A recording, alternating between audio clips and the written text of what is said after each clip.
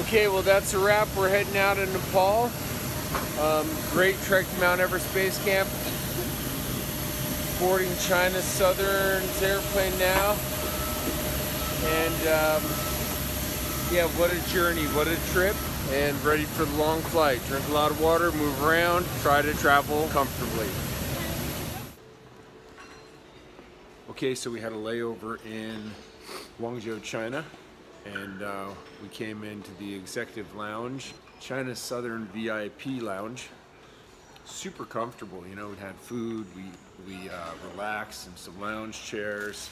We were able to have a shower, just get some rest and uh, clean up. And it really takes the sting out of the trip. It feels like a, a new day, you know, relaxed in their fully reclining chairs and the hot shower and bathroom and cleaned up and feel really comfortable, ready for our next leg of the journey and ready to get home. Yeah, the China Southern Lounge right here, boom, is, uh, is definitely uh, a good way to go in your travels and uh, help you relax. And it's all about enjoying the journey, right? And it's all about traveling comfortably, especially on these long flights overseas and when you're doing it on a regular basis. So, yep, getting ready to fly to LA, 14 hours in the air. Okay, we're boarding our flight now to Los Angeles from Guangzhou, China. And uh, nice connection through um, Guangzhou from Kathmandu. A few hour layover, and uh, this should be like a 12, 14 hour flight. I don't remember exactly, but um, we're cleaned up because that airport lounge is definitely the way to go. So the late night out of Kathmandu, you know, you're sitting in the airport, it's midnight, you're tired, you want to sleep, you get on the flight, you kind of sleep. Not great, and then we had about a five hour layover here in the airport, went to the VIP lounge, and it makes all the difference to rest in a reclining chair, get up, take a shower, have something to eat. Now I feel refreshed. Now I feel ready for this next next leg, this long flight, and we'll head to LA, connect from LA into Salt Lake for us to finish our journey.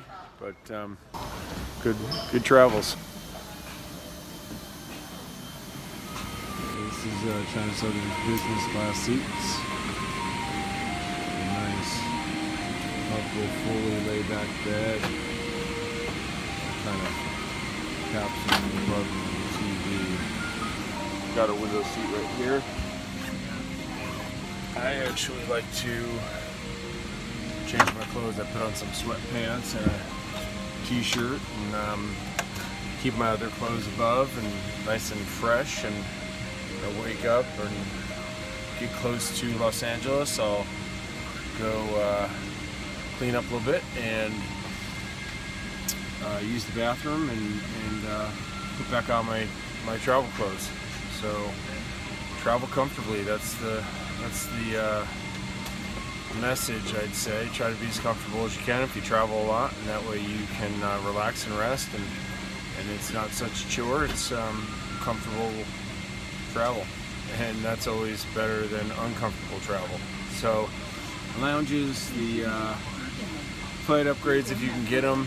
Um, I know it does. If you're not traveling all the time, then then the flight upgrades can be more expensive. But even if you're in economy class, you can um, wear comfortable clothes or bring something to change into your flight, and uh, then change at a lounge afterwards, and and um, you know try to get up and move around the plane a bit, hydrate, you know, do all the things that are going to help you be more comfortable um, in the air, get better rest, and help you get through the jet lag when you arrive at your next destination, say from Kathmandu to the U.S. We're talking about about a 12-hour time change, so the more you can arrive refreshed and ready to go, it's going to make you feel more comfortable